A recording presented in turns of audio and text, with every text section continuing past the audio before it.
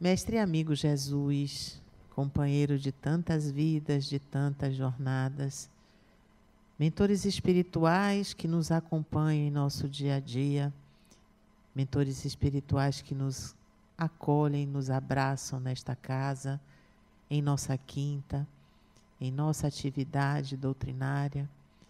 Agradecemos sempre esse abraço amigo, essa presença amiga em nossas vidas e pedimos que abençoem a nossa noite, para que ela transcorra em clima de paz, de luz, de harmonia. Intui e protege, orienta ao nosso palestrante na sua mensagem, de forma que toque os nossos corações naquilo que mais precisamos ouvir na nossa busca de crescimento espiritual. Que a sua paz, mestre amigo, que a sua luz sejam sempre os nossos alicerces. Assim seja. Nossa leitura de hoje. Desculpem. Desculpem, é que está marcada em combate. Ainda não resististes até ao sangue, combatendo contra o pecado em Paulo, Hebreus, capítulo 12, versículo 4. O discípulo sincero do Evangelho vive em silenciosa batalha no campo do coração. A princípio, desenrola-se o combate em clima sereno, ao doce calor do lar tranquilo. As árvores das afeições domésticas amenizam as experiências mais fortes. Esperança de to esperanças de todos os matizes povoam a alma, nem sempre atenta à realidade.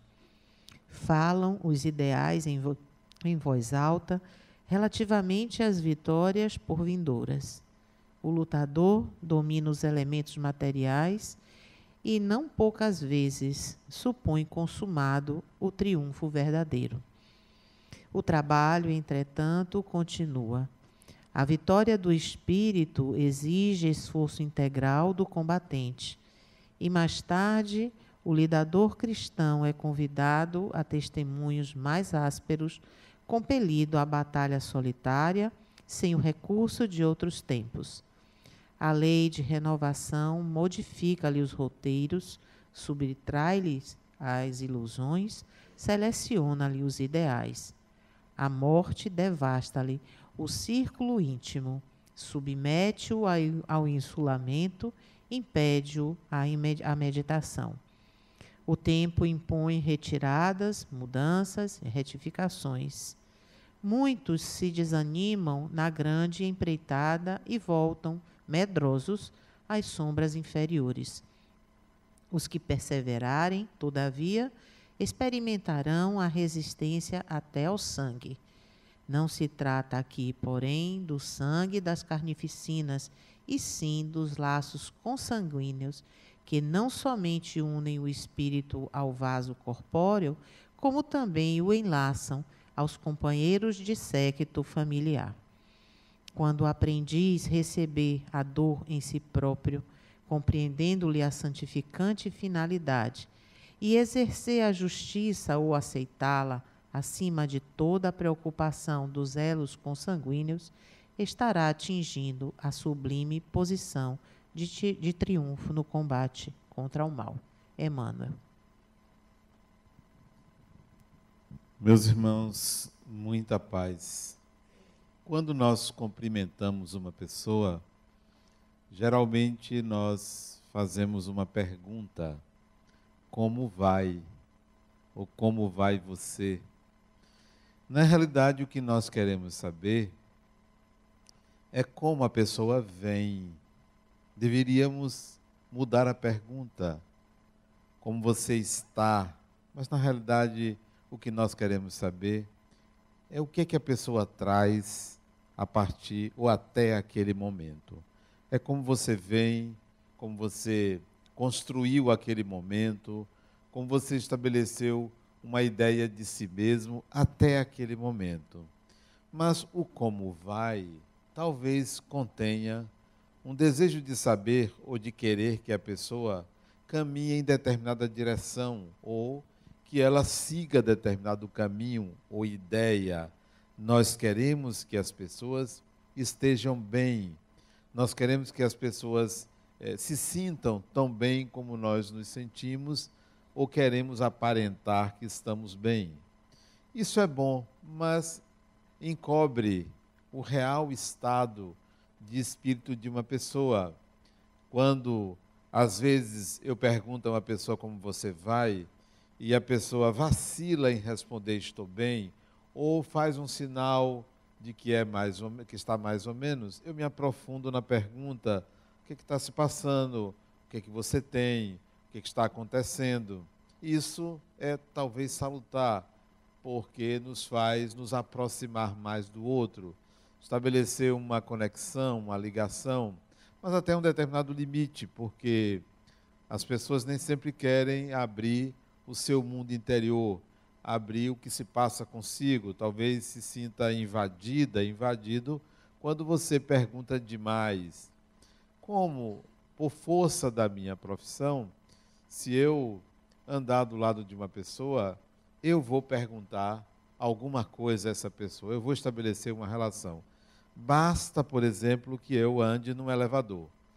Se eu pegar um elevador com você, eu não lhe conheço, eu vou dizer alguma coisa. Eu vou falar do dia, vou falar da noite, vou falar da roupa da pessoa, vou falar alguma coisa. Eu vou estabelecer uma conexão, mesmo que a pessoa considere que aquilo é uma invasão. Mas eu vou quebrar aquele momento. Eu tenho o hábito de fazer isso. Até aqui, no elevador daqui, que só tem quatro paradas, se tiver uma pessoa estranha, eu vou fazer alguma pergunta a ela. Você vai para onde? Né? É, o que lhe trouxe aqui? é, você vai para o quarto andar, você vai para o terceiro, eu vou fazer alguma pergunta, eu vou estabelecer uma comunicação, um contato. Por que isso? Porque creio que a maioria das pessoas vive um mundo completamente pessoal, próprio, isolado, egocêntrico, ou quando quer se relacionar, projeta muita coisa, idealiza muita coisa, mostra algo de si que não é verdadeiro, muito raramente nós somos totalmente verdadeiros com as pessoas. Se adquirirmos o hábito de buscar uma transparência, de se colocar, muito provavelmente nós seremos mais verdadeiros com as pessoas. Digo isso porque sou psicólogo e como psicólogo eu vou estar sempre atento ao que está, o que é anterior ao comportamento, o que motiva, o que é de, é, desconhecido da pessoa, o que eu posso é, descobrir daquela pessoa que a própria pessoa não vê, não percebe. Isso é força do hábito, isso é uso do cachimbo, põe a boca torta. Então, por força disso, eu estou sempre buscando algo além da aparência, da fala, é, do modo simplório e coletivo de pensar. E aconselho que nós busquemos sempre algo além, um pouco mais, que a gente suba um degrau ou desça um degrau daquilo que o outro mostra. Talvez seja por isso que aqui no centro muita gente quer ser psicólogo, muita gente. Muita gente é, começou a estudar psicologia porque tenho divulgado o pensamento psicológico, tenho mostrado que é importante é, conhecer a dinâmica psíquica. Quanto mais você conhece como funciona a sua mente, mais você se conhece. E, na realidade, as pessoas buscam a psicologia para se conhecer, muito mais do que para ter uma nova profissão. Para se conhecer, para se entender. Porque tem uma vida coletiva, porque tem uma vida muito comum, muito igual a todo mundo, porque não se percebe como uma individualidade busca a psicologia para fazer essa, essa, digamos, eh, essa descoberta, eh, essa investigação de si mesmo. E, e não é simples fazer a investigação de si mesmo, porque a maioria de nós ainda se vê como um ser no mundo, não se vê como um ser que é, usa o mundo, fabrica o mundo, projeta no mundo, constrói o mundo, nós ainda não conseguimos ter essa percepção de que somos construtores do mundo da realidade. Quando eu comecei a estudar psicologia, isso já faz muitos anos, isso foi no, no começo dos anos 80, que eu comecei a me dedicar de fato ao estudo da, da psicologia, já fazem quase 40 anos que me dedico a estudar. É, ainda tem muita coisa que eu não consigo entender, porque a mente humana, a, o funcionamento da mente humana ainda é, é envolto em muito mistério. Você não consegue olhar é, estando dentro. A nossa visão é sempre por representação, é sempre por imagens, por talvez seja assim, é possível que seja assim, porque você não consegue enxergar-se por dentro, você precisa de algum elemento de projeção. Então, é, é sempre algo novo. E nesses estudos, eu venho percebendo que o Espiritismo me deu uma vantagem ao estudar psicologia, porque eu sou espírita antes de ser psicólogo. Não sou é, um espírita psicólogo nem um psicólogo espírita. Eu sou psicólogo e sou espírita. Mas junto esses dois conhecimentos, tanto para olhar a psicologia quanto para olhar o espiritismo. E para aqueles que querem conhecer-se, eu aconselho juntar os dois conhecimentos. Tente se olhar pela ótica espírita, tente se olhar pela ótica psicológica. Como é isto? Por esse motivo é que eu falo muito de psicologia do espírito, não falo em psicologia espírita. Até não, não concordo com esta união, criar-se uma psicologia espírita como se o espiritismo devesse ditar o que é a psicologia. Prefiro pensar numa psicologia do espírito. Nós estamos falando do espírito. É como se você pensasse numa psicologia do ser humano, uma psicologia do animal, uma psicologia do trânsito, uma psicologia disso ou daquilo, mas não uma psicologia espírita, nem uma psicologia católica, ou uma psicologia budista, ou uma psicologia protestante. Estaria um tanto quanto engessada em ideias é, religiosas, é, num segmento do conhecimento humano. Se a psicologia é uma ciência, ela tem que ser psicologia de um objeto e não submetida a qualquer tipo de pensamento.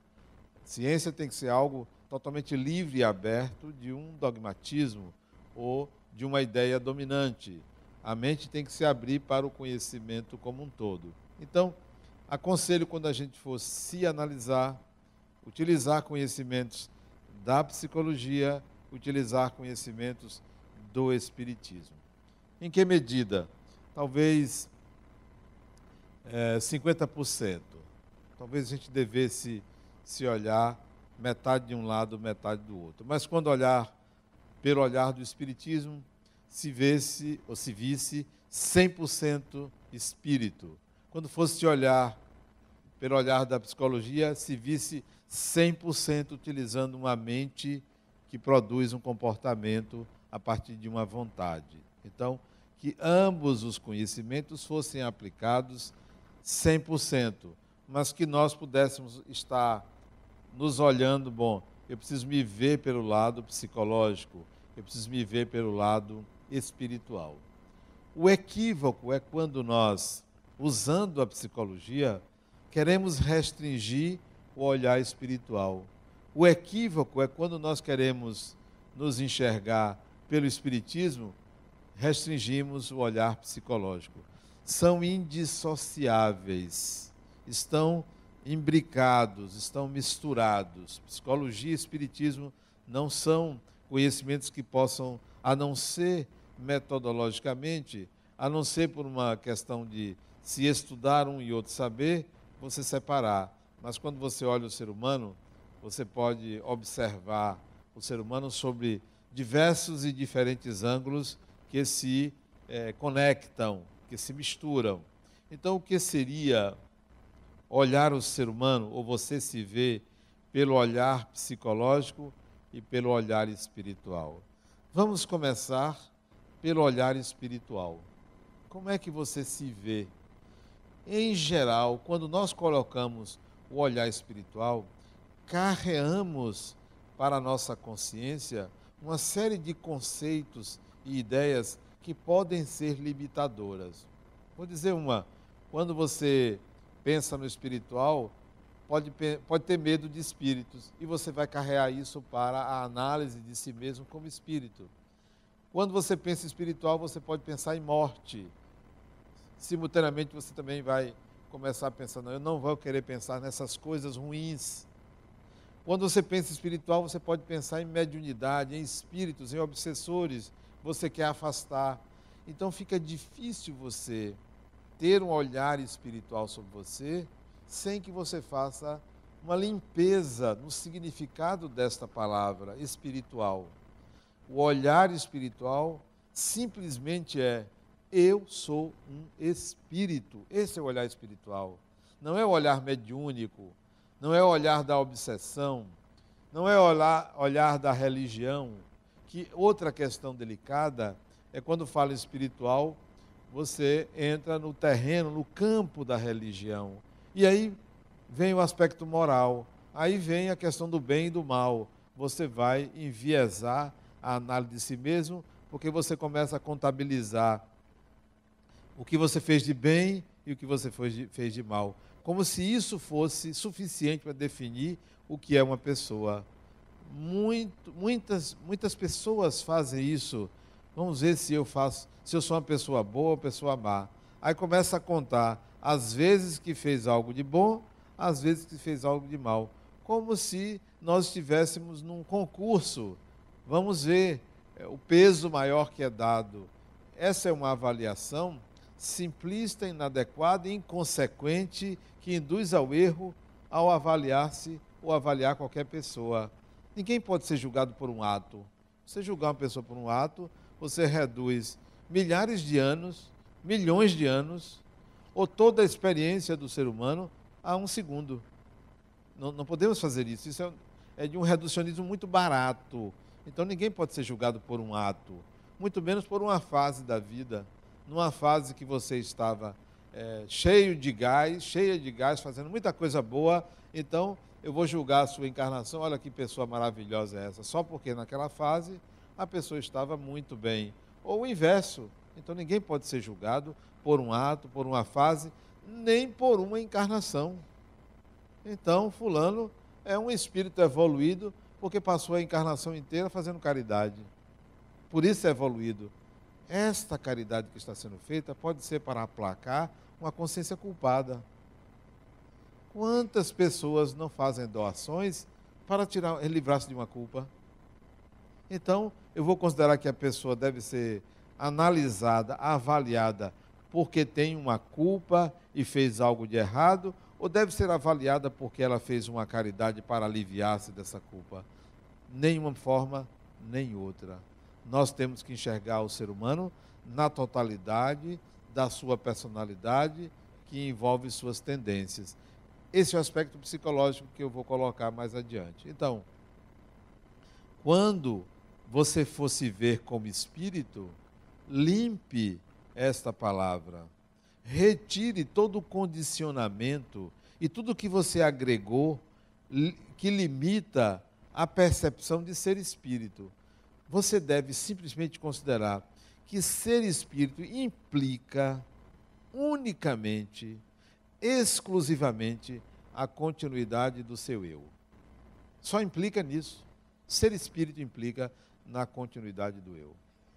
Portanto, na imortalidade. Mas eu prefiro não usar agora esse termo imortalidade para que você não associe a palavra imortalidade à morte não associa a moral, a para onde eu vou, a umbral, a isso, aquilo. Então, associe a palavra espírito ou olhar espiritual à continuidade do eu. O eu é um contínuo. Até quando? Um contínuo eterno, ou para sempre. Um contínuo para sempre. Isso significa que, dizer que não há um limite nem do corpo, nem da consciência, nem do que for, não há um limite. Esse ser que é você é um ser que tem um eu que continua, que não perece, que não desaparece, que não se destrói, que não tem fim, qualquer que seja o nome que você quer dizer. Então, ao se analisar como espírito, relacione com continuidade do eu.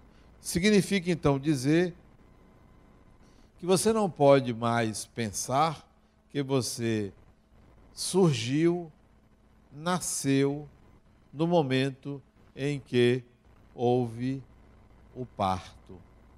Tampouco quando houve a concepção. Porque se o eu é um contínuo, ele não tem início previsto, possível de ser identificado. Pode até por abstração pensar, em alguma época este eu surgiu, mas eu não posso precisar quando, porque se ele continua independentemente dos eventos externos, independentemente dos eventos físicos, independentemente da morte do corpo, então eu não posso afirmar que ele começou quando eu nasci nesta vida. Então, ao se olhar como espírito, pense na continuidade do eu. O eu que eu sou continua e vem continuando há milhares de anos. Esse raciocínio deve, lhe levar a uma reflexão sobre quem de fato então sou eu. Eu, estou esse, eu sou esse personagem que se mostra, eu sou esse que se revela nos limites de um organismo perecível, eu sou esse que se revela nas suas habilidades físicas, nas suas características estéticas, ou qualquer que seja a expressão particular desse indivíduo que é você.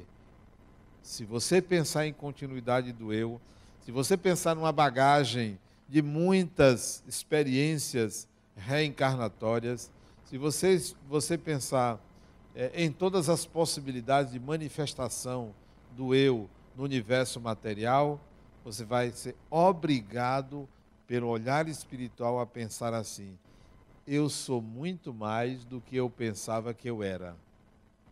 Eu, o eu que eu sou, é muito maior do que os limites que eu próprio estabeleci pela cultura, pela educação que eu tive, pelas influências que recebi. Então você é obrigado, obrigado a pensar de uma forma diferente na análise espiritual ou na condição de espírito que você é eu sou muito mais do que o que eu pensava ou penso que eu sou. Eu preciso expandir a percepção que eu tenho de mim mesmo. Eu preciso ampliar a consciência que eu tenho de mim mesmo, porque ela tem sido limitada por mim, pelas influências educacionais, culturais que eu tenho recebido. E essa ampliação da consciência e, e essa percepção mais extensa de si mesmo requer uma parada, um silêncio, uma reflexão mais profunda, requer uma renúncia, porque se você não fizer uma renúncia do personagem que você criou, ele vai tender a sufocar você. Muitos de nós somos sufocados não por outra pessoa, não pelo marido, pelo namorado, pela mulher, por quem quer que seja, nós somos sufocados por uma visão de nós mesmos que nos limita, que dificulta a nossa a ampliação da nossa consciência. E aí vem o olhar psicológico para favorecer a ampliação dessa consciência que já admite o ser espírito, que já admite a continuidade do eu. Vem a psicologia, que é a ciência do comportamento e das relações que o ser humano, o personagem, faz com o meio, com a realidade. Então vem a psicologia em auxílio. Daí eu considerar que há uma psicologia do espírito. A psicologia deve, então, fornecer a você elementos para o entendimento de como funciona o pensar, o que é a formação de uma ideia, o que é o desejo, o que é a motivação, o que é a finalidade, como funciona a consciência e os limites inferiores e superiores da consciência, a que está sujeita a consciência, para que você possa fazer uma distinção entre o personagem que você é e um aparelho que você utiliza chamado consciência ou chamado mente. Qual é a diferença entre você e sua mente? Muito pouca gente consegue estabelecer essa diferença. Da mesma maneira que muita gente tem dificuldade de estabelecer a diferença entre quem é e o corpo que usa. A maioria entende que é o corpo que usa. Eu. E quando fala eu, toca no corpo e bate no corpo, eu. Você está falando de quê? Deveria estar falando de uma subjetividade. Devia estar dizendo, ó, oh, fulano, eu estou falando aqui, mas eu nem sei quem sou eu. Eu ainda não sei. Eu estou batendo no corpo, mas eu tenho dúvidas sobre mim mesmo. Porque eu não sei como é que eu funciono bem. Porque horas eu penso de uma forma, horas eu penso de outra. Você deveria apresentar essa dúvida sobre si mesmo. Mas, como você não quer capitular diante do outro, você se pensa uma unidade, você se pensa alguém coeso, uno, e na realidade não, so, não somos. Nós somos uma diversidade de possibilidades, de associações, de eventos na consciência. Esse é o eu. Então, a psicologia vem colocar para você, olha, você tem um aparelho, um aparelho que você pensa que é você. Esse aparelho não pensa. Esse aparelho é, serve para pensar. Esse aparelho, você faz o seguinte com ele. Ele é uma espécie de liquidificador que você junta os elementos, você junta pensamentos. Os pensamentos são ligados, formando uma ideia. Uma ideia é a união de pensamentos. Uma ideia no liquidificador é associada a uma emoção. Uma ideia associada a uma emoção gera a tendência a um comportamento. Todo comportamento é a junção de pensamentos que formam ideias que associam às emoções e você então age. A ação então pressupõe uma cadeia de eventos que são que acontecem é, instantaneamente, que acontecem tudo simultaneamente. Quando alguém pergunta assim, o que é que você está pensando? Na realidade, a pessoa está perguntando quais são as suas ideias, porque você não expressa pensamento. É uma figura de linguagem dizer que você emite pensamentos, você emite ideias. Ideias é a associação de pensamentos. Os, os pensamentos vêm de onde? De onde vêm os pensamentos? Se vocês acreditam que os pensamentos vêm dos neurônios, lê do engano. Se vocês acreditam que o pensamento vem de alguma instância é, ligada a um estímulo externo, como pensam os behavioristas, o pensamento vem das profundezas da mente humana. Vem de algo muito mais profundo. É como o rio. De onde vem a água de um rio? De onde vem? Você diz que vem da nascente. A água do rio não vem da nascente. Ela brota na nascente. Ela vem das profundezas da terra. E aí brota ali num determinado momento e corre e se junta forma o rio. De onde vem a água? Das profundezas da terra. De onde vem o pensamento? Das profundezas do inconsciente. Vem de algo muito profundo que é estimulado o pensamento pelo espírito o espírito deseja, utiliza a mente para aglutinar pensamentos, formar ideias, juntar emoções, então ele atua no desejo dele. O desejo não é o ato. Desculpa.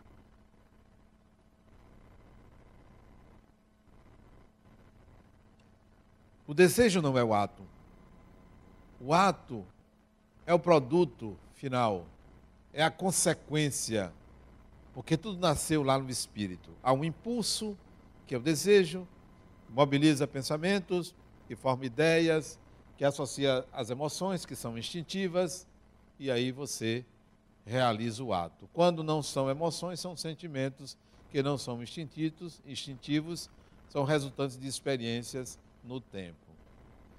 A psicologia, então, vai oferecer a você o seguinte raciocínio ou reflexão. Espera aí, eu estou habituado a fazer uma coisa e agora estou percebendo que é por um automatismo. Que não sou eu que quero fazer isso. É porque eu estou usando mal um aparelho. É como você pegar um alicate de unha e querer cortar a unha. Está usando mal um aparelho. Para cortar a unha, você tem que usar tesourinha. O alicate de unha é para algo mais sutil. Você está usando indevidamente o aparelho. Então, tem gente que usa a mente de uma forma indevida. Uma pessoa que é agressiva, ela pensa às vezes que é um defeito dela. O defeito, entre aspas, é a utilização inadequada de um instrumento. Porque a agressividade é gerada pela raiva. A raiva é um instinto, é instintiva, é uma emoção que você não está sabendo usar. E você se considera inferior porque você tem raiva. A inferioridade não é ter raiva, porque todo ser humano tem raiva, porque a raiva pertence a uma instância que se agrega a ideias. Você precisa aprender a manipular, a utilizar, a administrar algo que é inerente ao humano. Todo ser humano tem raiva. E você já se considera inferior porque você é agressivo ou agressiva, porque você agiu com agressividade. Você devia dizer assim: não é que eu seja inferior, eu ainda sou incapaz competente para utilizar a minha mente, porque a raiva vai sair do, das suprarrenais, vai invadir a camada sanguínea e vai para a mente, vai ser psiquificado. E aí você vai ter que resolver aquela quantidade de energia que é colocada à disposição do espírito. Então, é apenas uma questão de aprender que há um órgão que cuida disso chamado mente. Você precisa aprender a usar a mente. E você então faz um bocado de modificações no comportamento, pensando que você vai ser bem sucedido. Sabe o que vai acontecer? Você vai explodir. Tem gente que diz: olha, eu vou ser paciente. Vou ser paciente. A partir de agora, eu vou renunciar a toda a minha agressividade. Se alguém me bater numa face, eu vou oferecer a outra até o dia que você tomar um tapa muito bem dado, que você vai soltar os cachorros na pessoa. Porque você precisa aprender a usar o instrumento e não a bloquear o uso do instrumento. Aconteceu comigo uma certa vez. Eu resolvi agir como Gandhi. Isso tem muitos anos. Olha, a partir de agora é paz, paz e amor é não violência. Eu resolvi, sério. Foi uma, um dia que eu acordei com a vontade de ser diferente. E eu trabalhava na Caixa Econômica, era engenheiro, e lidava com processos de avaliação de imóveis para liberar FGTS, para as pessoas tomarem empréstimos. Eu trabalhava com isso. E eu recebi um processo e a gente tinha que receber o processo, ver o nome da pessoa, o endereço, o telefone, ligar para marcar para ir à casa da pessoa. Eu recebi assim uns 10 processos por semana, e aí eu peguei este e liguei para a pessoa. O telefone chamava, ninguém atendia. Eu liguei em horários diferentes, até que depois de uns três ou quatro dias eu consegui falar com a pessoa. E marquei numa sexta-feira, que era o horário conveniente para ela, para ir lá. Marquei. E fui. Vocês encontraram ela? Eu também não, a casa estava fechada. Eu cheguei meia hora antes do horário marcado e fui embora uma hora depois do horário marcado. Não encontrei. Voltei, bom, vou aguardar. E a orientação é: se você não encontra, tente uma segunda vez. E eu, então, no mesmo dia liguei, chamava, ninguém atendia. Depois de uns dois dias a pessoa atendeu e reclamou comigo: o senhor não foi. Eu disse: eu fui. O senhor não foi. Eu estava lá. Não é uma casa assim, assim? Ela disse: é. Eu disse: a senhora estava lá. Não, eu mandei uma amiga minha aí. Eu disse, a sua amiga não foi. Ela não lhe deu esse retorno, ela não foi. Então vamos marcar uma segunda vez. Marquei uma segunda vez. Eu era Gandhi. Então, eu tinha toda a paciência com ela. Marcamos uma segunda vez, um horário disponível para ela. Alguém aqui foi? Ela também não foi. Meu Deus do céu, o que é isso? E era um buraco o lugar. Era uma ladeira no Pernambués que descia. O carro ficou lá em cima, eu descia para procurar aquele lugar, até que eu achei. Ela não foi a segunda vez. Meu Deus do céu, alguma coisa aconteceu. A pessoa pode ter tido um problema de saúde. Eu era grande, dei um bocado de desculpas para ela. Voltei, consegui falar com ela alguns dias depois. Ela disse: Olha, eu não pude ir, não pude avisar o senhor, eu não pude ir. Aí criou uma história lá, que eu não sei até hoje se é verdadeiro ou não, não pude ir, mas nós, eu estarei lá tal dia. Vocês foram? Ela também não foi.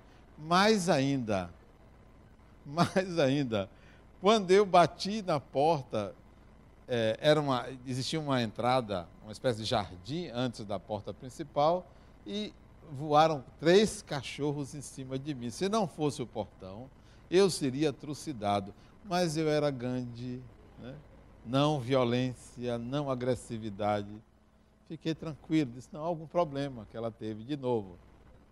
Até que eu consegui falar com ela e com toda a calma do mundo, a senhora, o que é que houve? Eu fui lá, ela disse outra desculpa. Eu disse, olha, eu vou ter que devolver seu processo, você não vai ter direito a receber o seu dinheiro. Você tinha direito a liberar seu FGTS, não vai ter direito. Eu vou ter que devolver seu processo. disse, não faça isso, pelo amor de Deus, tal, tal. Dessa vez vai dar certo, tal. Eu vou estar lá. disse, minha senhora, eu vou dar a última chance à senhora. Eu sou obrigado a devolver o processo. Até que eu encontrei, ela estava lá. Agora, olha a cena. Eu vou descendo a ladeira, na porta da casa, tinha umas 10 pessoas me esperando. Digamos que o nome dela seja Dona Maria, porque Maria é um nome comum, né? Aí eu de lá de cima, quando eu vi aquela cena, eu fui tomado de uma raiva. De uma raiva, porque eu ia encarar ela, tudo que eu tinha acumulado saiu. Aí eu. Quem é Dona Maria aí? Ela disse, sou eu. eu disse, a senhora sabe como é que galinha morre? Foi, assim mesmo. Eu não conhecia a mulher, mas eu estava com tanta raiva dela. Ela disse, sei, torcendo o pescoço. Disse, é o que eu tenho vontade de fazer com a senhora. Mas eu disse isso sério, com raiva dela. Eu não aguentei. Mas ela se sentiu tão culpada que ela disse: Meu filho, eu fiz um bolo para você. Pronto, aí. Acabou. Ela me conquistou pela boca, pela boca. E aí eu comi aquele bolo naquele dia. Isso, essa história é verídica, é fato que eu vivi isso. Foi assim mesmo. Por que, que eu conto isso? Porque nós temos o hábito de querer mudar atitudes. Atitudes. Queremos mudar comportamentos. Esquecemos que o comportamento é consequência, não é causa. É como uma palavra. Uma palavra é consequência. Ela vem de uma ideia, que vem de pensamentos, que vem as ideias associadas a emoções. Então, se eu quero mudar um comportamento, eu tenho que dissecá-lo para ver que emoção está associada e que ideias constroem aquele ato. Aí eu posso mudar. É aí onde a psicologia vem em nosso socorro. Porque se você simplesmente se apoiar numa ideia de mudança de comportamentos, porque nós aprendemos isso, a cultura nos deu essa informação, você tem que mudar seu comportamento, você tem que ser uma pessoa melhor, você esquece que é, o comportamento é consequência, o comportamento é resultado daí a psicologia ser importante. Não precisa é, ir para uma faculdade, não, não precisa ser terapeuta, nem precisa ir a um psicólogo, que aliás são muito caros, né? quando vocês forem, procurem mais baratos, porque os que tem por aí são muito caros. A competência é a mesma, tanto dos mais caros como dos mais baratos. Não precisa ir a um analista.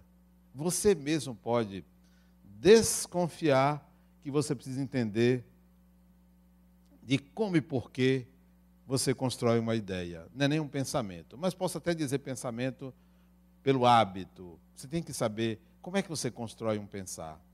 Você tem que aprender que você não deve afastar um pensamento, você deve entender as razões daquele pensamento.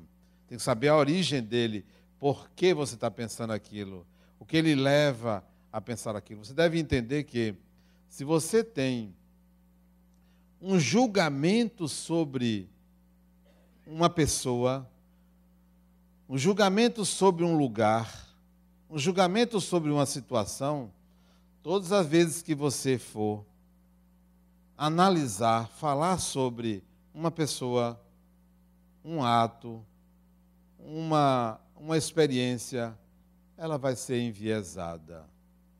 Todos os julgamentos, por mais que você diga, não, não é porque eu penso assim de fulano que eu estou analisando dessa forma. Improvável. O colorido dos nossos raciocínios é dado pelos julgamentos que nós fazemos das pessoas, das ideias, das experiências que nós é, temos. Por isso que Jesus disse: não julgueis. Não é para você não julgar, porque é impossível que não julguemos, porque julgar é avaliar, julgar é comparar coisas e atribuir um valor a elas. É impossível, mas a gente tem que entender que todas as vezes que julgamos, nós vamos enviesar a construção dos nossos pensamentos. E temos que dar um desconto. Às vezes eu digo à pessoa: olha, dê um desconto. Esses dias eu disse a quem? Não sei se foi um paciente meu ou foi a um amigo meu. Dê um desconto, porque você sabe que eu gosto de Fulano. Eu gosto. Então, tudo que eu falar, eu gosto. É porque eu não estou me lembrando a quem foi que eu disse. Eu gosto, não adianta você falar, porque eu gosto. Tudo que eu disser aqui, você dê um desconto, porque eu gosto. E já disse o inverso. Não se esqueça, eu não gosto de fulano. Tudo que eu disser e que tem fulano vai sair enviesado. Dê um desconto, porque você não consegue a neutralidade. A neutralidade é apenas um arquétipo, é uma tendência. Você não consegue se livrar dos seus julgamentos, da forma como você é, avalia uma situação, uma pessoa, uma coisa. Você vai é, ser obrigada a, a incluir esta, esse julgamento, esse colorido que você dá. Imagine o filho, a filha, que conviveu durante anos com o pai ou com a mãe, com o pai, que foi educada por aquele pai, que viajou com aquele pai, que teve tudo daquele pai e ele é um corrupto. A pessoa descobre que tudo isso foi feito com dinheiro público. Será que esse filho ou essa filha terá isenção de, de acusar ou de defender esse pai? Não terá, porque tudo que construiu, tudo que entende como ela própria, graças a esse pai. É a mesma coisa. Há anos atrás eu vi a entrevista de um rapaz que ele foi sequestrado na maternidade. A mãe adotiva criou ele. Tempos depois foi descoberto que ela roubou ele e foi feito o teste de DNA. Ele era filho de outras pessoas e ela tinha feito isso com ele e com a irmã dele. Foram roubadas na maternidade. Como é que você pode dizer a ele, tenha ódio dessa pessoa, tenha raiva dessa pessoa, se ele alimentou o amor durante muitos anos a essa pessoa? O que, que ele fez? Foi conhecer a mãe biológica, mas não deixou de estar com ela, mesmo ela tendo sido presa. Porque tinha um sentimento você não consegue se desvencilhar daquilo que você é, alimenta como julgamento ou como sentimento a respeito de alguém ou de situações. De tal maneira que a psicologia vem em auxílio de uma percepção de que, além da sua personalidade, além do espírito que você é, você usa um aparelho que mascara, que tem particularidades, que funciona de uma maneira que você desconhece, então você tem que aprender a usar aquele aparelho que é a mente humana, que não é o espírito, que não é o cérebro. Faça uma gradação entre o espírito que você é, o personagem que você expressa, a mente que, você, que o personagem usa, o cérebro e o corpo que traduz uma imagem de você. Você tem que ver que isto é uma gradação que tem limites, que tem diferenças, que tem particularidades. Então, junte a psicologia com o espiritismo, a psicologia com a consciência de ser espírito, a psicologia com a continuidade do eu. Para mim, é impossível hoje olhar para uma pessoa e não me perguntar quem é esse espírito que está diante de mim. O que é que essa pessoa, esse espírito, sabe da sua própria mente? Eu tenho que me perguntar isso. Não é possível mais eu olhar para uma pessoa e pensar assim, não, é uma pessoa que nasceu há X anos atrás e que tem tal ou qual profissão. Eu vou me perguntar qual é a competência, a capacidade dessa pessoa em usar o equipamento mais valioso que existe na dimensão que nós vivemos, que é a própria mente humana. A mente humana é a matéria-prima de Deus. Não é a matéria, não é o corpo físico. É a mente humana, porque é, ela é um organismo plástico, maleável, mas de grande poder de influência sobre o eu, de influência sobre as realizações do espírito. Daí eu falar em psicologia do espírito. Primeiro, continuidade do eu. Segundo, há uma dinâmica psíquica a ser compreendida. Terceiro, há uma regra que traduz o comportamento. Há uma regra que eu uso muito. Muitas são as regras, muitas são, muitos são os mantras que se utiliza. Eu parto do princípio que eu não quero nada de ninguém que a pessoa não tenha para me dar ou não queira me dar. Nada você não tem para me dar ou não queira me dar, eu não quero. Mesmo que legalmente me pertença, eu não quero. Sou capaz até de receber e não usar, porque se você não quer me dar, não sou eu que vou atrás do que você não quer me dar. Porque o que você não quer me dar e me pertence, a vida vai me trazer. De alguma maneira isso volta a mim, isso aparece, isso surge, isso brota como a água brota do pé da montanha e vai formar o rio. Isso vem. A, a vida funciona num sistema de merecimento, não de causalidade, mas de merecimento. É possível você pensar que tudo que é para o seu para a sua evolução, para o seu bem, para o seu processo de desenvolvimento, a vida vai lhe dar. Não precisa nem pedir. Eu quero isso, eu quero aquilo. Virá porque Deus coloca na mão dos espíritos aquilo que o espírito pode utilizar, pode aprender a fazer para o seu próprio desenvolvimento. Então, em matéria de atitude, se eu penso na continuidade do eu, se eu sei como funciona a mente, em matéria de atitude, eu vou partir do princípio que eu não quero nada de ninguém que a pessoa não possa me dar. Isso me serve para quando a pessoa falta educação comigo, ou é mal educado ou mal educada comigo, eu vou pensar: primeiro, eu mereço, segundo, a pessoa não tem. Eu mereço e a pessoa não tem. Por isso que não pode me dar, porque não tem. Regra da convivência. Não me dá sim, me oferece isso porque eu mereço. Não me dá o que eu achava que merecia porque não tem a pessoa não tem. Então, quem é mal educado não tem educação. Quem recebe a mal educação do outro é porque merece e precisa educar-se, precisa obter aquilo, precisa fazer diferente, porque você só tem o que você merece.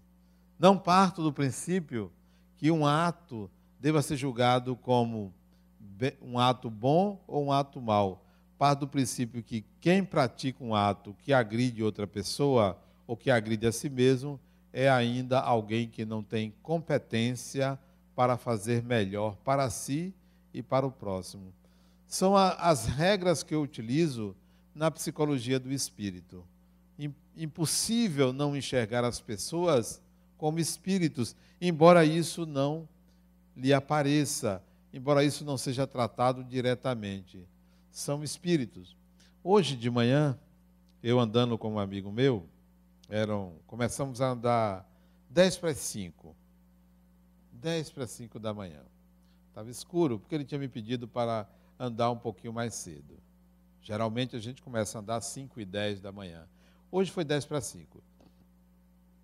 E ele chegando assim para mim, Adenal, o que é que eu faço? Eu estou com um problema com meu filho. Eu não consigo entender ele. Ao mesmo tempo eu quero ajudá-lo, mas me causa eu fico nervoso porque é, ele age de uma forma totalmente contrária ao que eu aconselho ele. Eu simplesmente disse para ele: talvez o problema não seja seu filho, talvez o problema seja você. Eu já notei que você também, às vezes, quer me explicar as coisas, mas você não consegue. Você acha que eu devo dizer que você, é você o problema ou sou eu o problema? Será sempre eu que não sou capaz de entender você talvez você não seja suficientemente claro ou utilizando a maneira adequada de atingir seu filho, de alcançar ele. Experimente pensar como alguém que tem a idade dele. Deixe a condição de alguém que tem 50 anos e pense em alguém que tem 15 anos, 14 anos. Talvez você consiga atingir ele. Aí eu trago isso para a nossa reflexão. Será que você exige das pessoas que elas sejam como você? Ou você consegue chegar às, pe às pessoas como elas são? Será que você consegue enxergar o outro?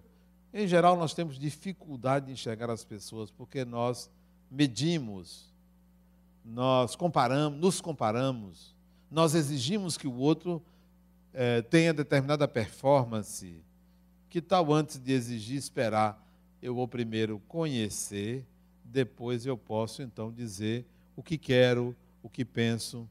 Daí ser importante, antes de falar, ouvir, antes de avaliar, escutar, observar para saber quem é ou com quem você está lidando. A psicologia do espírito é a psicologia da continuidade do eu, é a psicologia do reconhecimento de que há uma instância intermediária entre o eu e o comportamento que é o funcionamento da mente humana.